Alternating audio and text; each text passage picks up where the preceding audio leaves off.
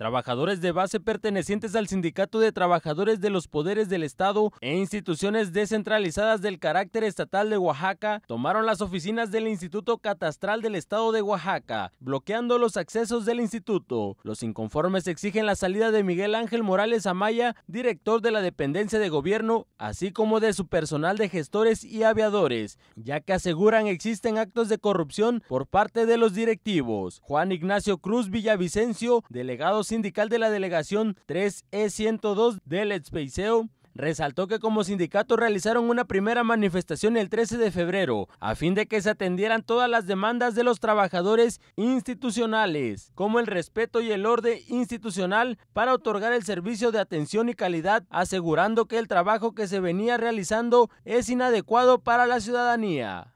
Es importante decirle a todos los ciudadanos que nosotros hicimos una primera manifestación el día 13 de febrero, donde le hacíamos la invitación al, director de Catastro que se atendieran todas las necesidades dentro de las rutas institucionales. Número uno, se busca el respeto y el orden institucional para otorgar un servicio de atención y calidad.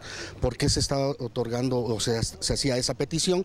Porque tenemos un desabasto y un, y un rezago de tres meses de, en la tramitología. Si tú llegas como contribuyente en la la cola de espera nada más en el inicio del trámite, te estás tardando en promedio de una hora y media a dos horas para que pueda ser atendido. El trámite se te está otorgando después de un mes. Número uno, que nosotros como base trabajadora, en el orden y el respeto por la calidad que queremos otorgar a, los ciudadanos, es la destitución del, director de catastro por una simple y sencilla razón. Habíamos acordado que el 13 de febrero, si no se cumplían los objetivos, el señor director con todo su personal aviadores y gestores se tenía que ir al instituto porque lo importante de esto es la institución como catazo. Estamos dedicados a otorgar un servicio de calidad. Hay gente muy competente en eficiencia terminal de trabajo.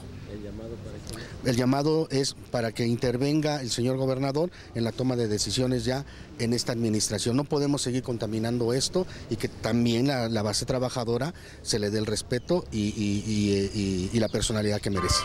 Los trabajadores de base hicieron el llamado al gobierno del estado de Oaxaca para que intervengan en la problemática, asegurando que sus derechos como trabajadores no han sido respetados. Con imágenes de Azarel Guevara para MBM Televisión, Rafael Ventura.